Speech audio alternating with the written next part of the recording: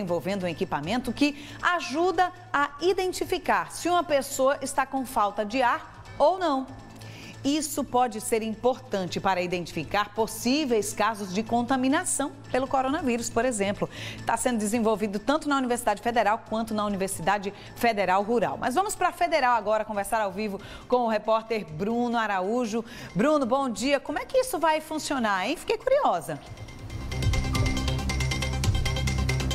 Olá, Isile. Bom dia para você, bom dia para todo mundo que está ligado aqui no Balanço Geral. A gente vai explicar ao vivo agora para os telespectadores como a tecnologia pode ajudar bastante os médicos que estão tão empenhados nesse momento de pandemia da Covid-19. A gente vai mostrar ao vivo, tá? Como funciona. Aqui está a tela do computador, tem valores que já estão aqui congelados, mas eu vou mostrar ao vivo essa atualização. Pedir para o Jackson Gomes ele se afastar um pouco para a gente mostrar aqui, ó como é que funciona? Aqui tem um clipe, eu vou colocar o meu dedo nesse clipe aqui e em questão de segundos, depende da internet, essas informações elas são atualizadas. Esse equipamento a gente está chamando de oxímetro, mas ele dá outros valores também. Nós vamos mostrar tudo ao vivo aqui na tela da TV Clube, essas informações que vão ser atualizadas daqui a pouco no sistema.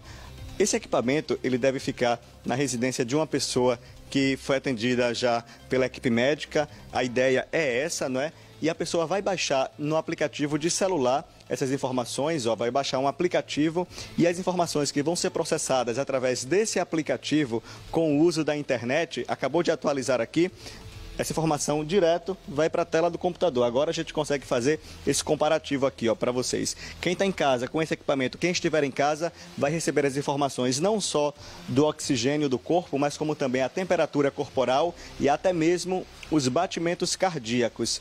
Olha só, a informação ela vai sendo atualizada e chega de imediato para aquele médico que está acompanhando. Essa é a ideia dos pesquisadores, tanto da Universidade Federal de Pernambuco, como também da Universidade Federal Rural aqui de Pernambuco. Esse equipamento aqui, essa tecnologia foi desenvolvida pelos pesquisadores das duas universidades. A gente vai convidar para participar ao vivo agora aqui o Marco Aurélio Benedetti, ele que é pro-reitor e também professor do Departamento de Eletrônica e Sistemas e vai dar mais detalhes para a gente sobre o uso dessa tecnologia. Bom dia, professor.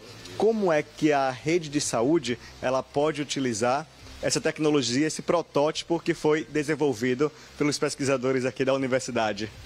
Bom, esse equipamento é um equipamento que foi desenvolvido em conjunto com a Universidade Federal de Pernambuco, a Universidade Rural de Pernambuco, visando a questão da monitoração do paciente. Então, a ideia é que com um clipe de medição de oximetria, a gente consiga pegar também temperatura, batimento cardíaco, respiração e enviar para um dispositivo celular comum. Então, qualquer pessoa pode utilizar esse equipamento e fazer essa monitoração em tempo real. Além disso, né, surge a questão do sistema georreferenciado.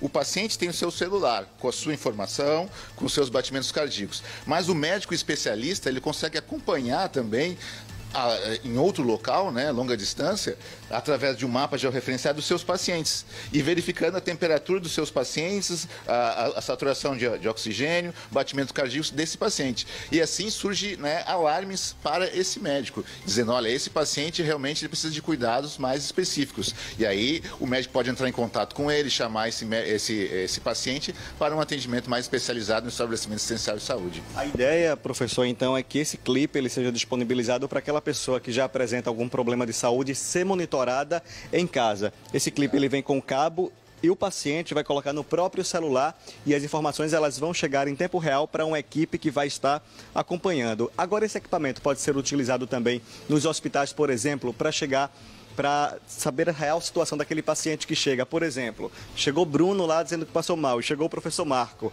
para o médico entender quem precisa daquele atendimento prioritário naquele momento, professor? Exato. O grande problema que nós encontramos hoje nos estabelecimentos essenciais de saúde é o fato da questão dos equipamentos que eles não estão preparados para a quantidade de pessoas que vão né, aportar em função dessa, desse, desse, problema, desse vírus. Então a ideia é que esse equipamento também possa servir para triagem. Você pode fazer uma triagem do paciente, identificar a questão da oximetria, a questão de batimentos cardíacos e verificar se o paciente está estável ou não. Da mesma forma, né, dentro do estabelecimento ou então depois um acompanhamento acompanhamento em casa com esse paciente, com esse equipamento. Então a ideia é não levar esse, equipa esse paciente para um local né, onde ele possa realmente pegar o vírus depois. Então a ideia é que ele possa ser tratado né, até um determinado limite em casa. Se ultrapassar os limites né, de gravidade, o médico especialista identifica através do sistema e já chama esse paciente ou liga, chama, entra em contato, telefone, celular, né, e já entra em contato com esse paciente para ele ir realmente né, para um tratamento né, mais especializado dentro né, do hospital, do estabelecimento de saúde. Professor, a gente reforça para os telespectadores que esse equipamento aqui, esse protótipo, ele não identifica, tá, gente, a Covid-19, mas ele consegue identificar, por exemplo, o batimento cardíaco, a temperatura e também a oxigenação do corpo, que são sintomas né, importantes para identificar se o paciente está com, com os sintomas característicos para o novo coronavírus ou não. Agora, professor, vou aproveitar já que eu estou testando esse protótipo ao vivo aqui para saber se esses valores aqui da medição do meu corpo, a temperatura, o batimento cardíaco e a respiração, está tudo em ordem, está tudo ok. Tá tudo tranquilo. Na verdade, né, se a saturação de oxigênio baixar lá 93, 92% e se manter, né, isso é um problema. É uma, uma análise para ser feita, né, pelo médico especialista. A temperatura também na ponta do dedo ela é um pouco mais baixa, né? Não teria problema nenhum. E os batimentos cardíacos estão tranquilos. Você está bem calmo, né? Então não tem problema nenhum.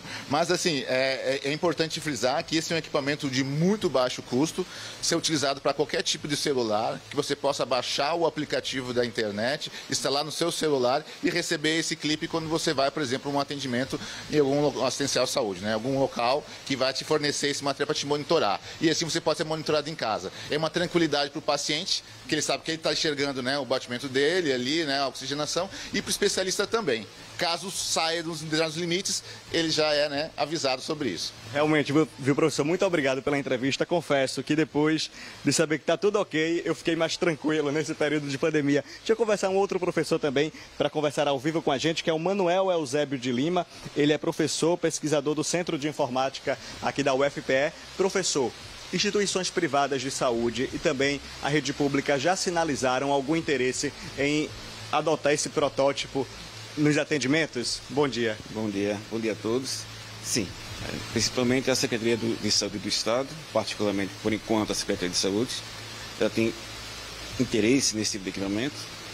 Inclusive, para se usar posteriormente, uma vez produzido em larga escala, está sendo já providenciado, atingir a rede de equipes de saúde da família, por exemplo, PSFs, em todo o Estado, onde você pode deixar o paciente em casa, aquele que tem uma probabilidade né, de ter esse, esse o coronavírus, ele pode ser monitorado em suas residências, talvez por equipe de saúde, coletado para o Estado, o Estado faz um, um gel processamento disso aí em função das áreas mais críticas dos estados de Recife ou do estado de Pernambuco como um todo. É verdade, professor, muito obrigado, porque aqui indica justamente a localização onde o paciente está, por isso que as equipes elas conseguem identificar a localização. É a tecnologia, Isla, que pode ajudar as equipes médicas né, a identificar os casos mais graves de problemas respiratórios e pessoas né, que estão com as características, com os sintomas característicos para a Covid-19. Voltamos ao estúdio. Isley.